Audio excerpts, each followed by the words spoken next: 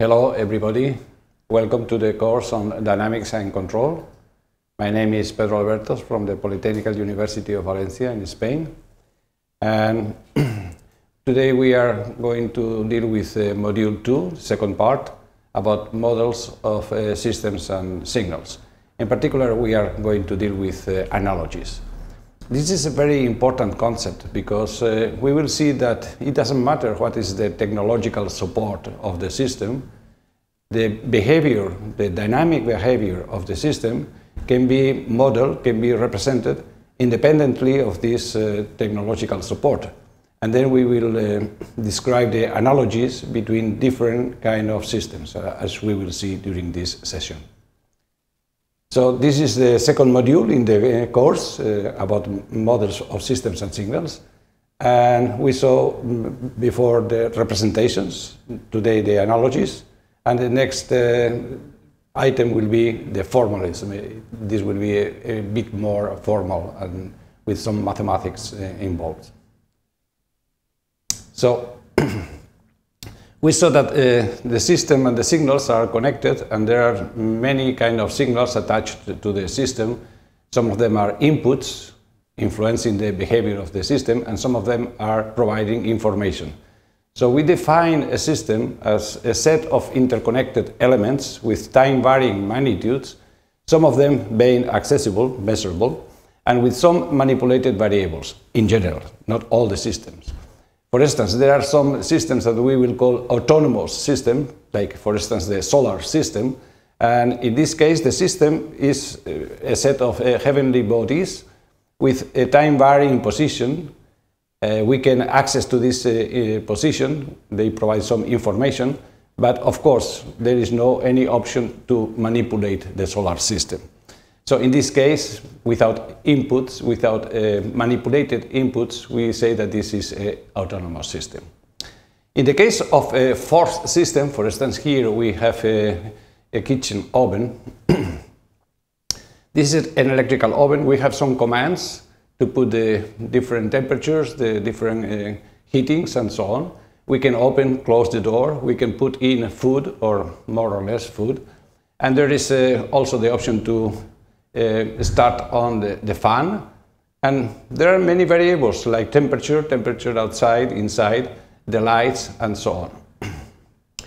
So in a schematic way, for this uh, physical system, we can uh, have this uh, schematic model where we can see that uh, the way this oven behaves is due to the balance between uh, heats there is a heat supplied by the heater, and then this heat is transferred inside and is transferred also to the environment, and some of the heat is absorbed by the um, food or the elements inside the oven. So the oven is always, this is a, a partial representation. There are many other variables in the mm, system, in, in, that case in the model, that we are not going to represent. So we should consider some commands, some uh, um, variables like the temperatures or lights, and this will provide, uh, as we will see later on, uh, a model of the system. so if we uh, turn on the oven, then we can see that the temperature is rising. For instance, from starting from mm, 25 degrees here, then uh, the temperature is rising and is reaching the maximum, what we have put in our command, 200 uh, centigrades. But uh, this kind of shape, we will see that is very common with many other systems. For instance, now we have here a tank, a water tank. There are some taps we can uh, open or close, more open, more closed. There are some uh, orifices where the water can be uh, extracted or uh, going out. And of course, what is important for us is the water level. There are some other um, variables which are magnitudes, which are fixed, like the tank uh, dimensions or the number of uh, orifices.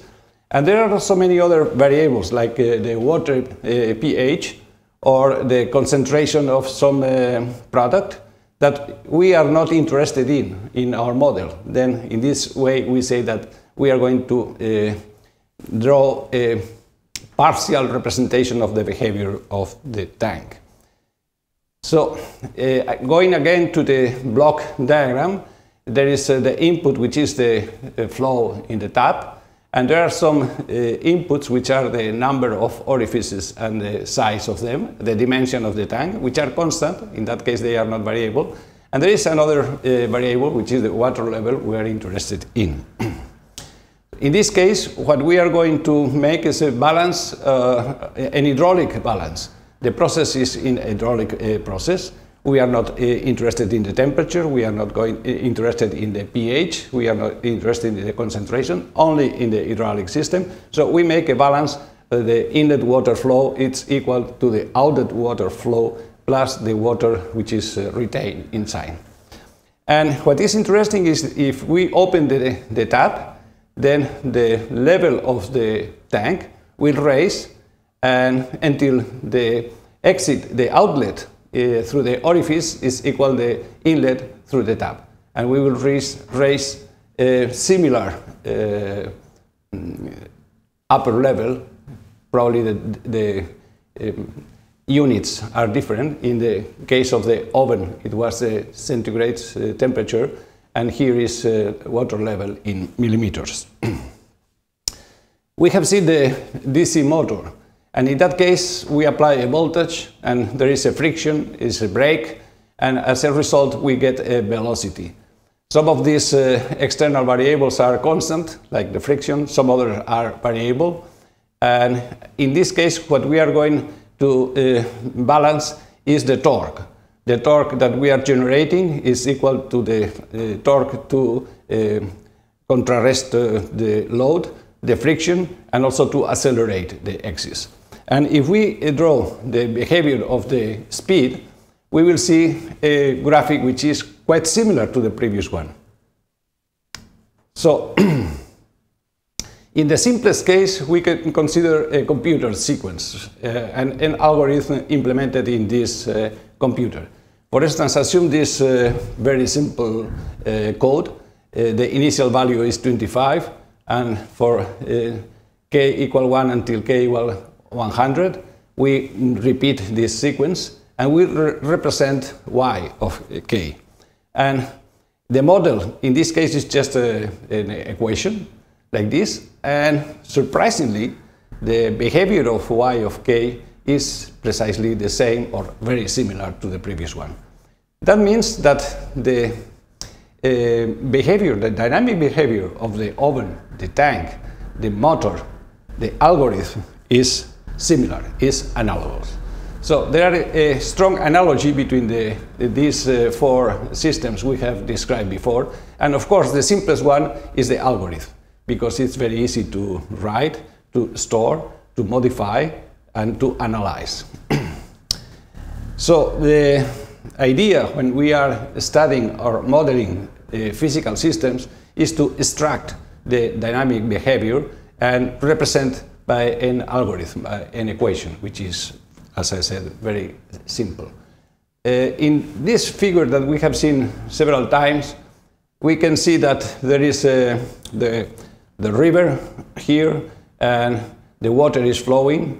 We can see the cars here, the traffic, and the and cars are flowing. And we can see the cable and the information is flowing. So Really, these are very different systems, but the behavior of the water, the cars, and the information is similar and can be modeled by the same equation. These are the flows, the water, vehicles, and information. And the simplest model will be a mathematical representation. So in general, we will have that the output is equal the input times an operator.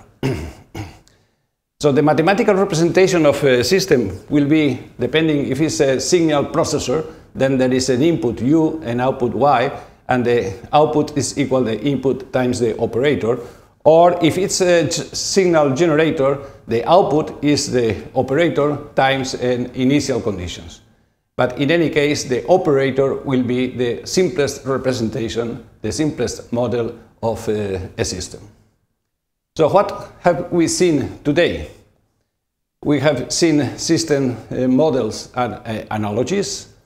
we have considered the system as uh, an information processor and the signals attached to a system that can be internal or external, manipulated or disturbances, measurable if they are outputs, and the representation can be by analogy or by means of a function, which, uh, as I mentioned, will be the most common way of modeling uh, systems. So what is next? In this module, we still have uh, another uh, item, which is the formalism, and this will be the topic of uh, our next uh, session. That's all for today. Thank you very much.